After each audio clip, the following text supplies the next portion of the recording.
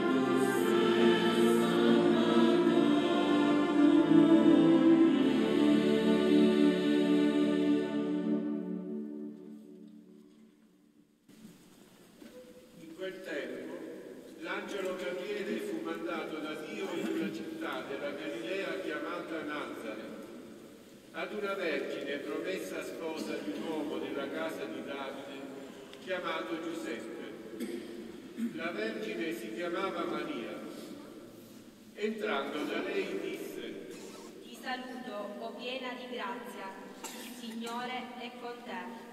A queste parole ella rimase turbata e si domandava che senso avesse un tale saluto. L'angelo le disse, Non temere Maria, perché hai trovato grazia presso Dio. Ecco, concepirai un figlio, lo darai alla luce e lo chiamerai Gesù sarà grande e chiamato figlio dell'Altissimo. Il Signore Dio gli darà il trono di Davide suo padre e regnerà per sempre sulla casa di Giacobbe e il suo regno non avrà fine. Allora Maria disse all'angelo, Com'è possibile? Non conosco uomo. Le rispose l'angelo. Lo Spirito Santo scenderà su di te, su te estenderà la sua ombra, la potenza dell'Altissimo. Colui che nascerà sarà dunque santo e chiamato figlio di Dio. Vedi, anche Elisabetta, tua parente, nella sua vecchiaia ha concepito un figlio e questo è il sesto mese per lei, che tutti dicevano sterile. Nulla è impossibile a Dio. Allora Maria disse, Eccomi, sono la serva del Signore, avvenga di me quello che hai detto. E l'angelo partì da lei.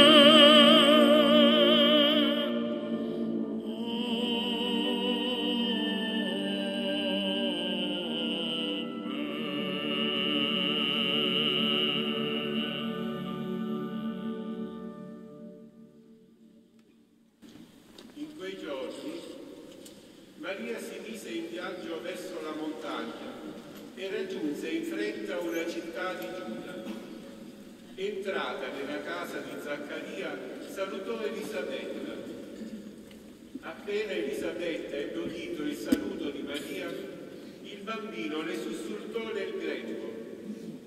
Elisabetta fu piena di Spirito Santo ed esclamò a gran voce. Benedetta tu fra le donne e benedetto il frutto del tuo grembo. A che debbo che la madre del mio Signore venga a me?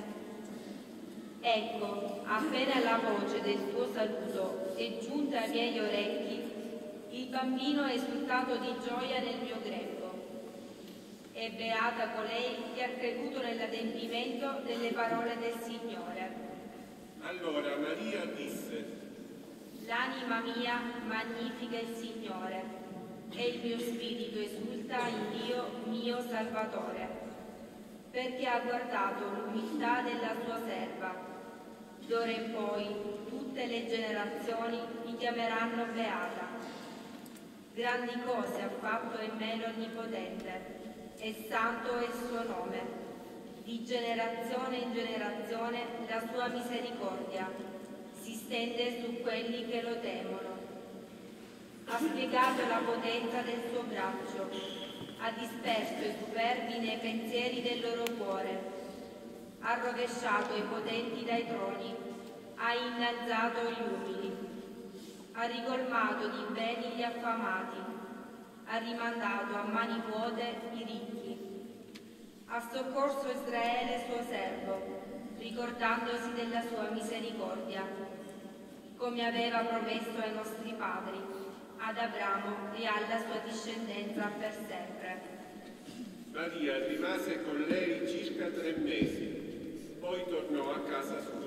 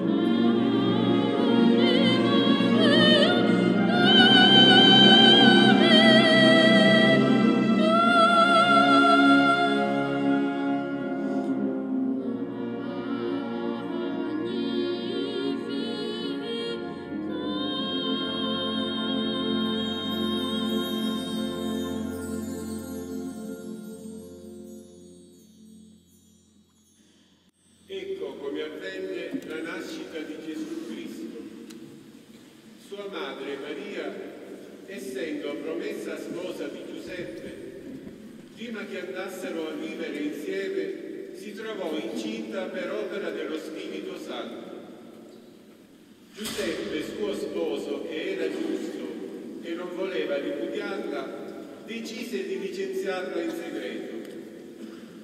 Mentre però stava pensando a queste cose, ecco che gli apparve in sogno un angelo del Signore e gli disse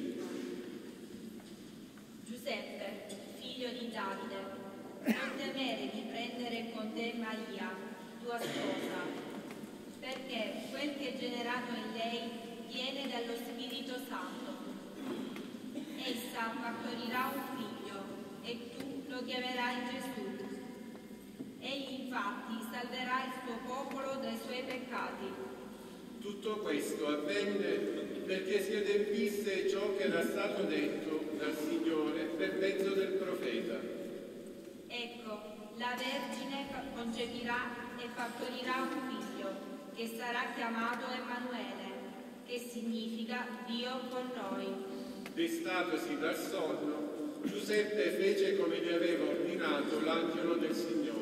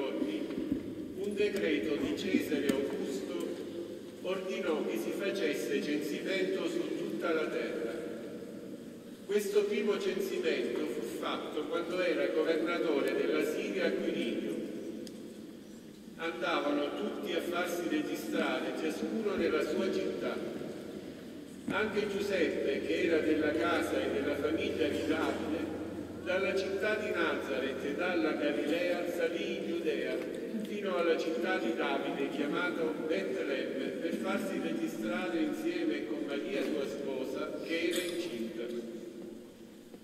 Ora, mentre si trovavano in quel luogo, si compirono per lei i giorni del parto. Diede alla luce il suo figlio primogenito, lo avvolse in fasce e lo depose in una mangiatoia, perché non c'era posto per loro nell'albergo. C'erano in quella regione alcuni pastori che vegliavano la notte facendo la guardia al loro gregge. Un angelo del Signore si presentò davanti a loro e la gloria del Signore li avvolse di luce. Essi furono presi da, grande spavento, ma l'angelo disse loro. Non temete, ecco vi annuncio una grande gioia che sarà di tutto il popolo. Oggi vi è nato nella città di Davide un Salvatore, che è il Cristo Signore.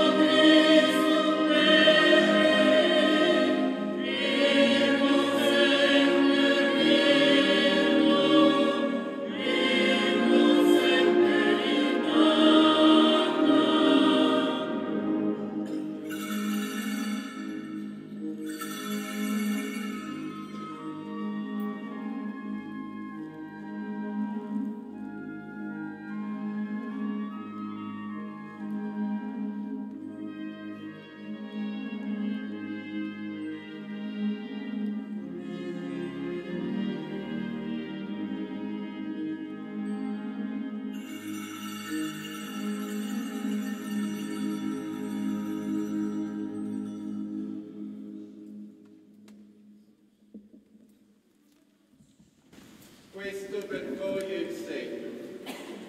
Troverete un bambino avvolto in fasce che giace in una mangiatoia. E subito apparve con l'angelo una moltitudine dell'esercito celeste che lodava Dio e diceva, Gloria a Dio nel più alto dei cieli e pace in terra agli uomini che Egli ama. Appena gli angeli si furono allontanati per tornare in cielo, i pastori dicevano tra loro, Andiamo fino a Betlemme, vediamo questo avvenimento che il Signore ci ha fatto conoscere. Andarono dunque senza indugio e trovarono Maria e Giuseppe e il bambino che giaceva nella mangiatoia e dopo averlo visto riferirono ciò che del bambino era stato detto loro. Tutti quelli che udivano si stupirono delle cose che i pastori dicevano. Maria, da parte sua, serbava tutte queste cose meditandole nel suo cuore.